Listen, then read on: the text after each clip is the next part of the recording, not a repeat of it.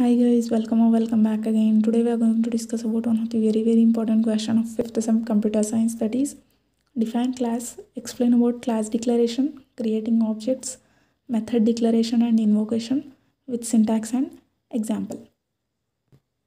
So అయితే క్లాస్కి సంబంధించి క్లాస్ని డి ఎట్లా డిక్లేర్ చేస్తాం అండ్ దెన్ ఆబ్జెక్ట్స్ ఎట్లా క్రియేట్ చేస్తాం ఇంకా మెథడ్స్ ఎట్లా క్రియేట్ చేస్తాం ఇదంతా రాయండి అని చెప్పేసి చెప్తుండు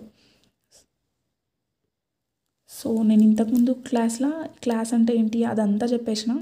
జస్ట్ మనం ఆబ్జెక్ట్ క్రియేటింగ్ ఆబ్జెక్ట్ ఒక్క టాపిక్ మాత్రమే మిస్ అయిన ఉండే అండ్ దెన్ దీనికి సం క్లాస్కి సంబంధించిన ప్రోగ్రామ్ మిస్ అయిన ఉండే ఈ వీడియోలో నేను ఆబ్జెక్ట్ అంటే ఏంటి అండ్ దెన్ ప్రోగ్రామ్ అంటే ఏంటో చూ చెప్తా. అండ్ దెన్ క్లాస్ గురించి జస్ట్ ఎవరైనా కొత్తగా చూస్తుంటే చిన్నగా టూ పాయింట్స్ చెప్పి స్టార్ట్ చేస్తా చూడండి. ఇంకా మీకు యాక్చువల్గా క్లాస్ డిక్లరేషన్ సింటాక్స్లు అవన్నీ కావాలనుకుంటే వెళ్ళి ఒకసారి ప్రీవియస్ వీడియో చూడండి.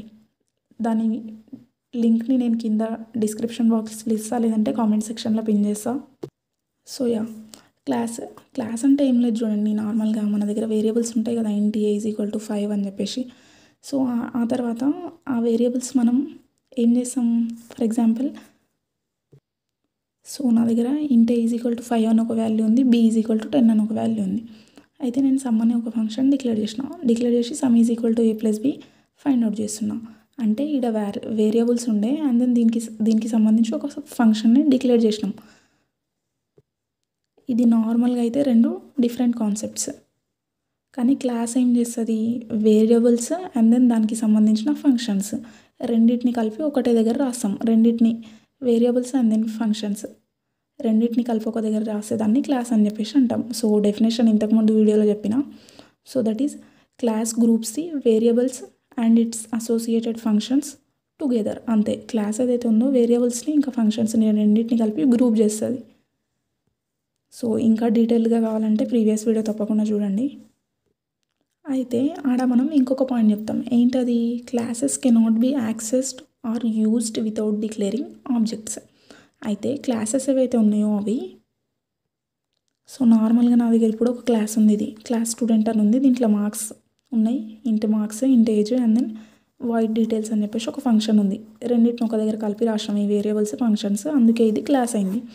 అయితే ఈ క్లాస్ ఏదైతే ఉందో దీని లోపల ఇంకా సర్టెన్ కోడ్ ఉంటుంది కదా. సో ఆ కోడ్ ఏదైతే ఉందో మనం ఈ క్లాస్కి క్లాస్ లోపల కోడ్ ఉంది కదా అది మనం డైరెక్ట్గా యూజ్ చేయలేము.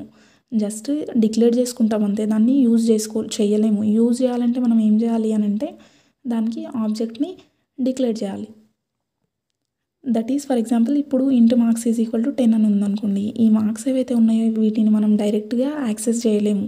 ఈ క్లాస్కి ఆబ్జెక్ట్ని డిక్లేర్ చేసి మాత్రమే ఆ ఆబ్జెక్ట్ యూజ్ చేసుకొని ఫర్దర్గా ఈ మార్క్స్ అనే వాల్యూ ఏదైతే ఉందో దాన్ని యాక్సెస్ చేయగలుగుతాం. అది ఎట్లానో చూద్దాం ఇప్పుడు. Object object is an instance of a class it is used to access the class members that is data and methods so object ఏదైతే ఉందో దాన్ని మనం క్లాస్కి సంబంధించిన members.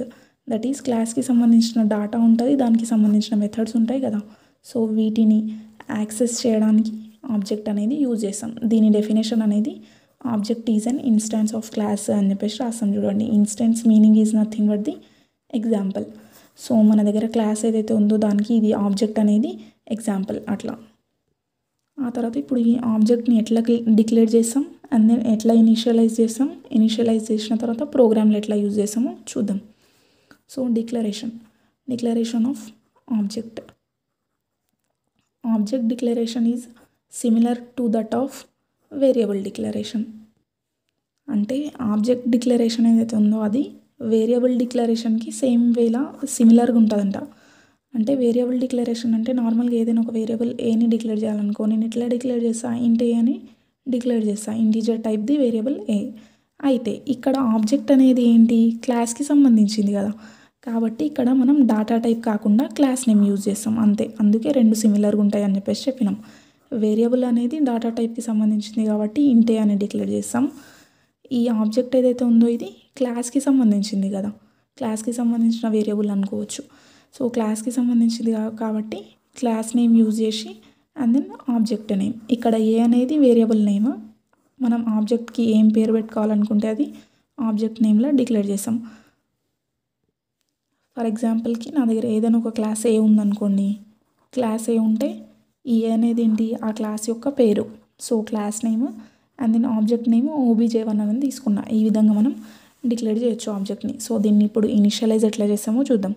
Initialization of object so initialization ఎందుకు అని అంటే మనం ఇంతకుముందు ఇక్కడ డిక్లేర్ చేసినప్పుడు దానికి యాక్చువల్గా మెమోరీ అనేది అలోకేట్ అవ్వదు. సో ఆ అలోకేషన్ ఆఫ్ మెమోరీ జరపడానికి మనం దాన్ని ఇనిషియలైజ్ చేయాల్సి వస్తుంది. అదే ఇనిషియలైజేషన్ ఆఫ్ ఆబ్జెక్ట్లా చూస్తాం మనం. So whenever we use objects it is necessary to allocate memory so ఆబ్జెక్ట్ని use చేయాలంటే ఇప్పుడు దానికి తప్పకుండా మెమోరీని అలోకేట్ చేయాలి కదా. అదే మనం ఇక్కడ ఇనిషియలైజేషన్లో చేస్తాం. It is done by using below syntax అది ఎట్లా చేస్తాం అనంటే అంటే ఈ విధంగా చేస్తాం. సో సింటాక్స్ చూడండి. Class name object name so ఇంతకుముందు డిక్లేర్ చేసిందే యాజ్ ఇట్ ఈస్గా ఇంతే ఉంది. అయితే ఇప్పుడు మనం ఏం చెప్పినాం? మెమోరీని అలోకేట్ చేయాలని చెప్పేసి చెప్పినాం. సో మెమోరీని అలోకేట్ చేయాలంటే మనం ఏ ఆపరేటర్ యూజ్ చేస్తాం చెప్పండి? సెకండ్ సెమ్లో ఉంటుంది సి ప్లస్ ప్లస్లో ఏంటది? New operator new operator use చేసుకొని మనం ఎప్పుడైనా కూడా మెమోరీని అలోకేట్ చేస్తాం. కాకపోతే ఇట్లా నార్మల్ వేరియబుల్స్కి అలోకేట్ చేస్తుంటే ఇక్కడ క్లాస్ కాన్సెప్ట్ ఉంది కదా. కాబట్టి ఏ క్లాస్కి మనం మెమోరీని అలోకేట్ చేస్తున్నాం అనేది ఇక్కడ న్యూకి మందర మధ్యలో రాస్తాం చూడండి. అంతే. సో ఇంతకుముందు ఉన్న క్లాస్ డిక్లరేషన్ ఉంది కదా. దానికి మెమోరీని అలోకేట్ చేస్తున్నాం కాబట్టి ఈజ్ ఈక్వల్ టు తీసుకున్నాం. అండ్ దెన్ మెమోరీని అలోకేట్ చేయాలి కాబట్టి న్యూ ఆపరేటర్ మధ్యలో ఏంటి అని అంటే క్లాస్ నేమ్ క్లాస్కి అలోకేట్ చేస్తున్నాం కాబట్టి క్లాస్ పేరు. సో ఈ విధంగా మనం ఇంతకుముందు ఓబీజే అనే ఆబ్జెక్ట్ డిక్లేర్ చేసి ఉంటాం కదా ఇక్కడ క్లాస్ ఏకి ఏ ఆఫ్ ఓబీజే వన్ అని. దానికి ఈ విధంగా మనం ఇనిషియలైజ్ చేయొచ్చు చూడండి. ఇక్కడ సెమీకాలన్ ఇంపార్టెంట్ అండ్ దెన్ ఇట్లా ఇనిషియలైజ్ చేస్తున్నాం. ఏముంది చూడండి? Class name object name is equal to new operator and then మధ్యలో క్లాస్ నేమ్ అంతే. ఈ క్లాస్ నేమ్ ఏదైతే ఉందో ఇది కన్స్ట్రక్టర్ లాగా పనిచేస్తుంది. సో అయితే ఐ థింక్ ఈ న్యూ అనేది జస్ట్ న్యూ ఆపరేటర్తోనే డిక్లేర్ చేస్తాం. మేము మొన్న మనం సి ప్లస్ ప్లస్లో కింద కామెంట్ చేయండి తెలిసిన వాళ్ళు. న్యూ ఆఫ్ ఈ ఫంక్షన్ తీసుకొని డిక్లేర్ చేస్తామా? జస్ట్ న్యూ ఆపరేటర్ యూజ్ చేసి చేస్తామా? మొత్తం మీద జస్ట్ మనం ఇప్పుడు గుర్తుపెట్టుకోవాల్సింది ఇదే కదా ఆబ్జెక్ట్కి initialization so class name use చేస్తాం object name new operator and then class name అంతే. ఆ తర్వాత ఆబ్జెక్ట్ది డిక్లరేషన్ అయితే అయిపోయింది. కానీ మనం ఆబ్జెక్ట్ని ఎందుకు డిక్లేర్ చేసినాం? క్లాస్ ఏదైతే ఉందో దాన్ని యాక్సెస్ చేయనీక డిక్లేర్ చేసినాం. సో క్లాస్ని యాక్సెస్ చేయాలంటే క్లాస్ లోపల ఏముంటాయి? వేరియబుల్స్ ఉంటాయి. అండ్ దెన్ ది మెథడ్స్ ఉంటాయి. వీటిని ఎట్లా కాల్ చేస్తాం? ఎట్లా యూజ్ చేస్తాం? ఆబ్జెక్ట్ యూజ్ చేసి అని చెప్పేసి చూద్దాం ఇప్పుడు. Accessing class members using objects. So క్లాస్కి సంబంధించిన వేరియబుల్స్ అండ్ మెథడ్స్ ఏవైతే ఉన్నాయో వాటిని ఎట్లా యాక్సెస్ చేస్తాం? అయితే the members that is data and methods of class are accessed using dot operator అంటే ఈ ఆబ్జెక్ట్లు ఏవైతే ఉన్నాయో వీటిని వీటితోని డాట్ ఆపరేటర్ డాట్ ఆపరేటర్ని యూజ్ చేసుకొని ఈ క్లాస్కి సంబంధించిన డేటా అండ్ మెథడ్స్ ఏవైతే ఉన్నాయో అవి యాక్సెస్ చేస్తామంట. అది ఎట్లా ఉందో చూద్దాం ఇప్పుడు. ఇంకా మనం లాస్ట్లో ప్రోగ్రామ్ డిస్కస్ చేస్తే మీకు ఇంకా మంచిగా అర్థమవుతుంది. ఇప్పుడు జస్ట్ మీరు ఎట్లా ఎట్లా ఎగ్జామ్లో రాయాలి కాబట్టి నేను థియరీ ఎక్స్ప్లెయిన్ చేస్తున్నా. సో అయితే ఏం లేదు చూడండి నార్మల్గా ఆబ్జెక్ట్ నేమ్ రాస్తాం మధ్యలో డాట్ పెడతాం. డాట్ పెట్టి మనం క్లాస్కి సంబంధించిన ఏదైతే మెంబర్స్ని యాక్సెస్ చేయాలనుకుంటున్నామో వాటిని రాస్తాం ఈ విధంగా. అయితే చూడండి ఇంతకుముందు మన దగ్గర క్లాస్ ఉండే స్టూడెంట్ అని. దాని లోపల ఏముండే? మార్క్స్ అని రెండు మార్క్స్ ఏజ్ అని రెండు వేరియబుల్స్ డీటెయిల్స్ అని ఒక ఫంక్షన్ ఉండే. అయితే ఇప్పుడు వీటిని ఆబ్జెక్ట్ యూజ్ చేసుకొని యాక్సెస్ చేయాలి మనం. అది ఎట్లా చేస్తాం అని అంటే స్టూడెంట్ క్లాస్కి. సో ఫర్ ఎగ్జాంపుల్ నేను ఆబ్జెక్ట్ నేమ్ ఏదైతే ఉందో అది ఓబీజే శామ్ అని తీసుకుంటున్నా. నేనే తీసుకున్నా. నార్మల్గా మీరు ఏమైనా తీసుకోవచ్చు. ఓబీజే ఏ బీసీ మన ఇష్టం వచ్చిన వాల్యూస్ తీసుకోవచ్చు. అంటే ఆబ్జెక్ట్కి పేరు పేరు మన ఇష్టం వచ్చిన పేరు తీసుకోవచ్చు. సో నేను ఓబీజే శామ్ అని తీసుకున్న ఆబ్జెక్ట్. అయితే ఈ ఆబ్జెక్ట్ తర్వాత ఏం చెప్పినా మనం? డాట్ ఆపరేటర్ యూజ్ చేసుకోవాలి. డాట్ ఆపరేటర్ యూజ్ చేసుకున్న తర్వాత మెంబర్ నేమ్ సో ఈ క్లాస్కి సంబంధించిన మెంబర్స్ కదా ఇవి. ఇదేమో డాటా మెంబర్ ఇదేమో ఫంక్షన్ మెంబర్ వేరియబుల్ అయినా అనొచ్చు ఫంక్షన్ అయినా అనొచ్చు. సారీ ఇవి వేరియబుల్స్ ఇవి ఫంక్షన్స్ సో ఈ క్లాస్కి సంబంధించిన వేరియబుల్స్ ఏవైతే ఉన్నాయో అవి డాట్ ఆపరేట్ పట్టారు తర్వాత వేరియబుల్ రాస్తే వేరియబుల్ని యాక్సెస్ చేస్తాం. అండ్ దెన్ డాట్ ఆపరేటర్ తర్వాత ఫంక్షన్ రాస్తే ఫంక్షన్ యాజ్ యాక్సెస్ చేయొచ్చు. అంతే. మొత్తం మీద ఆబ్జెక్టర్ ఆబ్జెక్ట్ నేమ్ రాసి డాట్ పెట్టి డాట్ తర్వాత మనం యాక్సెస్ చేయాలనుకుంటున్న వేరియబుల్ అయితే వేరియబుల్ ఫంక్షన్ అయితే ఫంక్షన్ని రాయాలి. సో ఇప్పుడు ప్రోగ్రామ్ చూద్దాం. ప్రోగ్రామ్ ఆన్ క్లాస్ క్లాస్కి సంబంధించిన ఏ క్వశ్చన్ వచ్చినా కూడా ఈ ప్రోగ్రామ్ రాయండి మీరు. అయిపోతుంది. ఈజీగా ఉంది. So import Java dot IO అని చెప్పేసి మనం ఇన్పుట్ అండ్ అవుట్పుట్ స్టేట్మెంట్స్ని ఇంపోర్ట్ చేసుకుంటున్నాం and then import Java dot util so నార్మల్గా మనం సి లాంగ్వేజ్లో hash include IO stream dot H ఎట్లా రాసాము అట్లా ఇవి ఇంపోర్ట్ స్టేట్మెంట్స్ మీకు స్ట్రక్చర్ ఆఫ్ జావా ప్రోగ్రామ్ తెలిసి ఇది తెలుస్తుంది. నేను స్ట్రక్చర్ ఆఫ్ జావా ప్రోగ్రామ్ చేసిన ప్లేలిస్ట్లో ఉంది. ఒకసారి వెళ్ళి చెక్ చేయండి. అయితే ఇప్పుడు మనం క్లాస్ డిక్లేర్ చేయాలి. సో క్లాస్ డెమో అని ఒక క్లాస్ తీసుకుంటున్నాం. తీసుకున్న తర్వాత దీని లోపల వేరియబుల్స్ అండ్ దెన్ మెథడ్స్ని రాస్తాం దీనికి సంబంధించిన సింటాక్స్ నేను ప్రీవియస్ వీడియోలో ఇచ్చిన క్లాస్కి సంబంధించిన పార్ట్ వన్ ఒకసారి అది చూడండి. So int age a is equal to five b is equal to ten రెండు వాల్యూస్ ఇచ్చిన ఆ తర్వాత ఫంక్షన్ తీసుకున్నాం ఒకటి. ఏంటది? Int add of a comma b అని చెప్పేసి. యాడ్ అనేది ఫంక్షన్ ఆ తర్వాత దీంట్లో ఏం చేసినాం? ఇంటి సమ్ అని ఒక వేరియబుల్ డిక్లేర్ చేసినాం. ఆ వేరియబుల్కి వాల్యూ ఎంత ఇచ్చినాం? ఏ ప్లస్ బి అని చెప్పేసి ఇచ్చినాం. అంటే ఈ సమ్ అనే వేరియబుల్ లోపల a plus b value store అవుతుంది. సో మొత్తం మీద సమ్ వాల్యూ మనం ఫైండ్ అవుట్ చేస్తున్నాం. And then return sum so ఈ ఫంక్షన్ ఏదైతే ఉందో ఈ సమ్ వాల్యూ ఫైండ్ అవుట్ చేసిన తర్వాత దీన్ని రిటర్న్ చేస్తుంది. రిటర్న్ చేసిన తర్వాత ఈ ఫంక్షన్కి మెయిన్ ఫంక్షన్లో ఏ నుంచి కాల్ వస్తే ఆడికి వాల్యూ అనేది రిటర్న్ అవుతుంది. సో అయితే యాక్చువల్గా ఎప్పుడైనా కూడా ప్రోగ్రామ్ ఇక్కడ నుంచి స్టార్ట్ అవుతుంది. మెయిన్ క్లాస్ నుంచి ఇక్కడ నుంచి చూడాల్సింది మనం.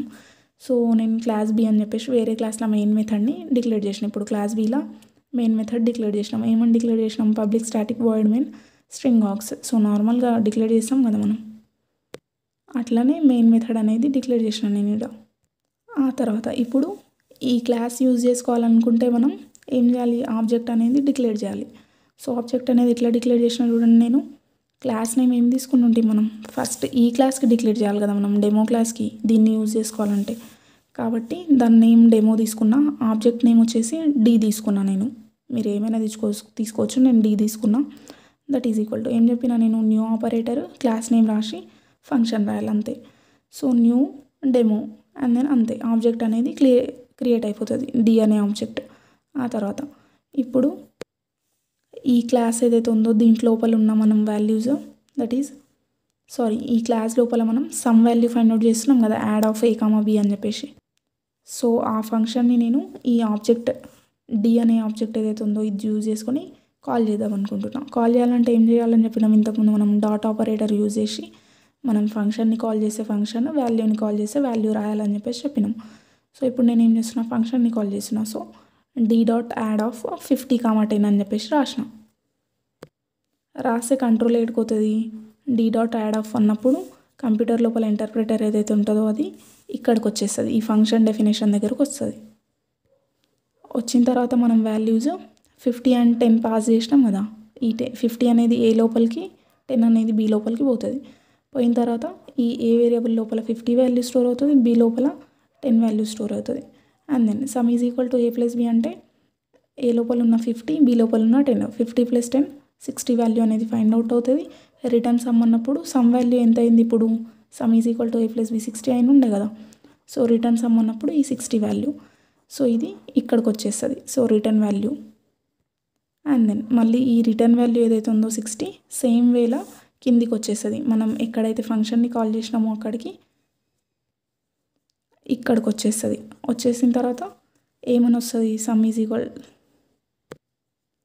సమ్ ఏదైతే ఉందో అది సిక్స్టీ అని చెప్పేసి రిటర్న్ అవుతుంది వాల్యూ. అండ్ దెన్ రిటర్న్ అయిన తర్వాత చూడండి S dot O dot P that is system dot out dot print LN print చేయడానికి యూజ్ చేస్తాం కదా మనం స్టేట్మెంట్ అదే షార్ట్ ఫామ్లో రాసినాం. ఆఫ్ సమ్ ఈజ్ అని చెప్పేసి ఈ సమ్ వేరియే వేరియబుల్ని ప్రింట్ చేస్తున్నాను నేను. సో సమ్ వేరియబుల్లో ఏమొచ్చింది? సిక్స్టీ వచ్చింది కాబట్టి అవుట్పుట్ ఏదైతే ఉందో మనకి సమ్ ఈజ్ అని చెప్పేసి ఎంత? సిక్స్టీ కదా. సిక్స్టీ వాల్యూ అనేది ప్రింట్ అవుతుంది. సో అట్లా అనమాట అండ్ దెన్ ఇంతకుముందు d dot add of fifty and comma ten అని చెప్పినాం కదా ఫంక్షన్ కాల్లో నార్మల్గా దీన్ని డీ డాట్ యాడ్ ఆఫ్ అని చెప్పేసి ఇట్లా కూడా కాల్ చేయొచ్చు చూడండి. ఎందుకు అని అంటే ఈ ఏ కామా బి వాల్యూస్ ఏవైతే ఉన్నాయో అవి మనం ముందే రాసి ఉంటాం కదా ఫైవ్ కామా టెన్ అని. సో నార్మల్గా ఇప్పుడు మనం డీ డాట్ యాడ్ అని ఫంక్షన్ కాల్ చేస్తే ఫంక్షన్ అనేది వీటికి కాల్ వస్తుంది. వచ్చిన తర్వాత ఏబి వాల్యూస్ ముందు ఆల్రెడీ ఏ లోపల ఫైవ్ బి లోపల టెన్ ఉండింటుంది. కాబట్టి కంట్రోలర్ అనేది వాటి సమేషనే ఫైండ్ అవుట్ చేసి ఫిఫ్టీన్ వాల్యూ వస్తుంది మనకి. అట్లా కాకుండా ఇది పెరామీటరైజ్డ్ ఫంక్షన్ కాబట్టి మనం వాల్యూస్ని పాస్ చేయొచ్చు ఏం కాదు. సో వాల్యూస్ని పాస్ చేయొచ్చు మన ఇష్టం ఉంటే పాస్ చేయకపోయినా నడుస్తుంది. ఎందుకంటే ఇక్కడ ఆల్రెడీ ఇచ్చినాం. ఒకవేళ ఈ ఈ స్టేట్మెంట్ రాయకుండా ఉంటే తప్పకుండా ఈ యాడ్ ఆఫ్ అని చెప్పేసి వాల్యూస్ పాస్ చేయాల్సి వస్తుంది. సో అవన్నీ యాక్చువల్ పారామీటర్స్ అవన్నీ నేను ప్రీవియస్ వీడియోలో డిస్కస్ చేసిన.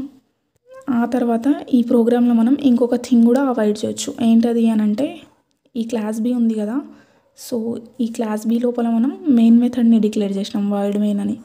సో ఈ క్లాస్ బి అని తీసుకోకుండా ఈ మెయిన్ మెథడ్ని నేను డైరెక్ట్గా ఇక్కడ కూడా రాయొచ్చు మనం.